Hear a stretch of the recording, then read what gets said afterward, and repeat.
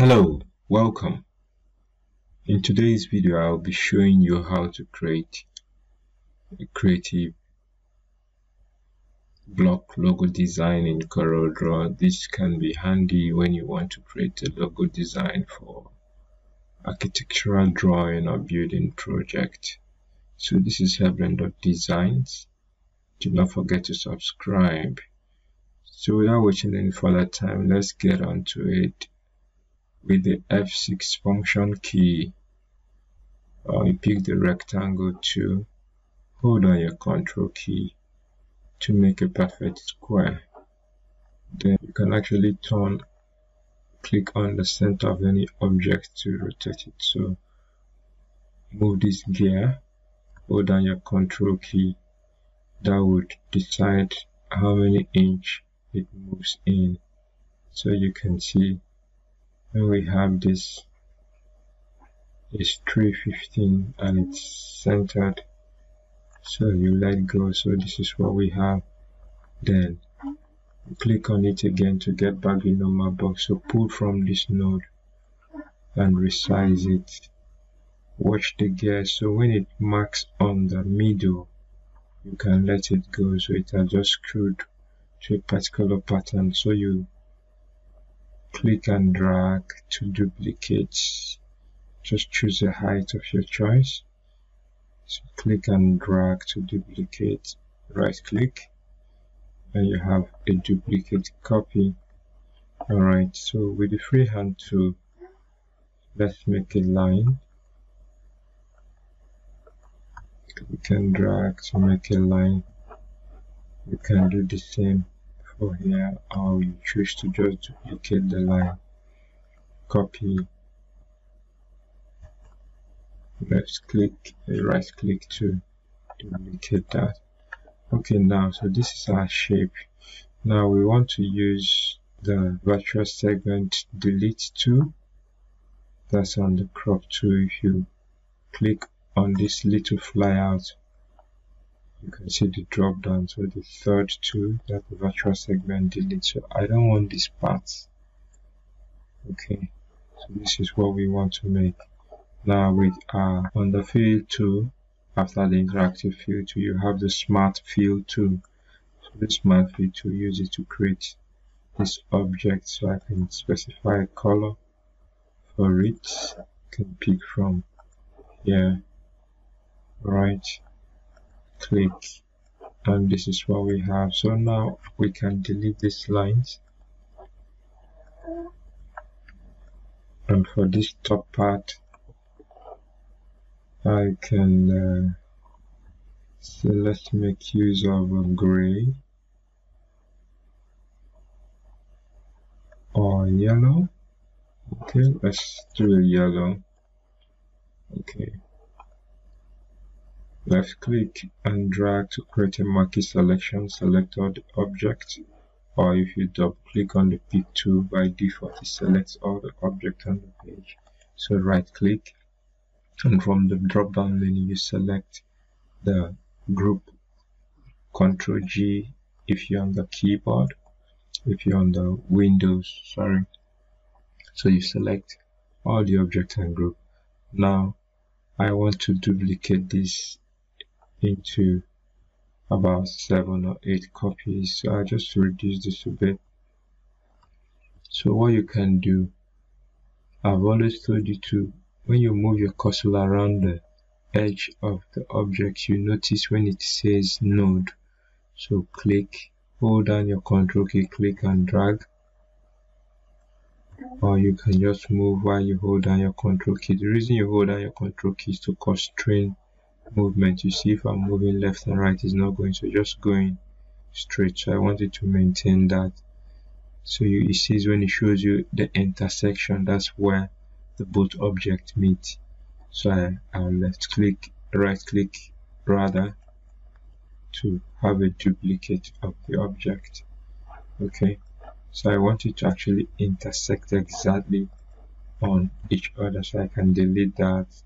Move the node you see that's perfect that's the edge okay I don't have any space so now I can press my Control D to or Control R, Control D to duplicate or Control R to repeat the action I just took, the last action I took. If we zoom out, so we see we have multiple copies. So I'll just delete the ones in between. After the first one, I delete the second one, delete the fourth one, the fifth one. Okay, so this is what we have. So we have one, two, three, four, five steps of this.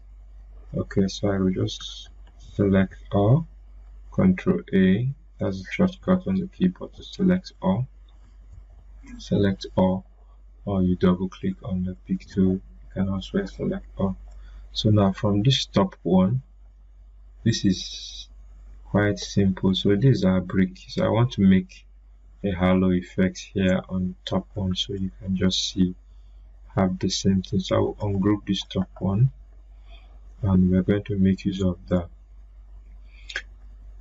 contour tool that's the contour tool. By default you're actually going to see the shadow effects as the first tool. So I've always said that the flyout this small arrow. Every tool you see that has a small arrow a small arrow is called a flyout. So when you click on the flyout you can see other tools that are associated with that tool. So we have the contour tool. So click on the contour tool. On the property bar you can see the property bar of the contour to select an object. So you can see this is the contour tool so you click and drag. You can see the shape it's building. Okay you can adjust the size. You can increase the number of steps. So this option is actually for the inside. You can choose to make it outside. You can choose to make it to be at the center alright so what is the inside you want to specifically use for this task? So I'll reduce the number of the steps to one. Alright so I'll just right click from the uh, menu. Will break contour apart. The shortcut for that is ctrl k. So i want this to be separated from this other one so i can pick out the fill the fill color just zoom in so we have a proper view then move my node to the corner bring it down align okay? So now I also want to have a little space here so I just duplicate another one. And with a freehand tool create a straight line down here. Just what we did from the beginning the smart fill to fill here fill fill this fill this. So just delete the areas that you don't want anymore. Alright delete this line. So for this last two I'm going to give it a red color. Why? This is going to be the lemon so this is what we have I select this last two and group them. Apply a little bit of transparency on it. So I just change the field. So this is what we have. You can see how that turns out. You can take out the outlines. If you choose to uh, this center part I can make it um, a white color or a lighter shade of yellow.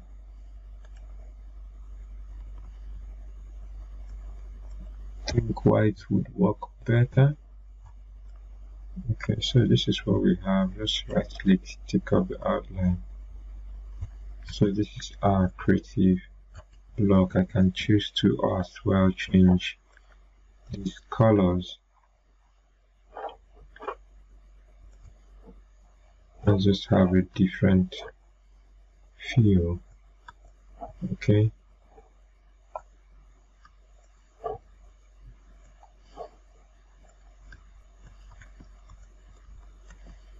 So this is what we have. If you're new to this channel and find this tutorial